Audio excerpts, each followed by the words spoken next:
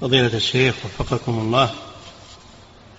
يقول ما حكم أخذ أجرا أو أجرة على شراء سلعة لأصدقائي أخذ أجرا يصلح هذا؟ أجرة. ها؟ أجرة. إيه أو أجرة يصلح النصب. أخذ. هو مضاف؟ أجرة. إيه. أحسن نعم. الله عليك يقول نعم. ما حكم أخذ أجرة على شراء سلعة لأصدقائي مقابل ذهابي والأخذ من وقتي. لكن هذا, هذا سعي هذا يسمونه السعي والسمسار هذه بس. نعم. لكن حفظك الله يقول لكنهم يظنون أن هذا هو ثمن السلعة.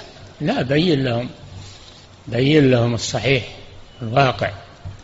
وقل والسعي خارج عن الثمن. السعي أو السمسرة خارجة عن السعي إما أن تكون على البائع وإما أن تكون على المشتري حسب الشرط. نعم. خارجة عن الثمن لا تجمل مع الثمن. نعم.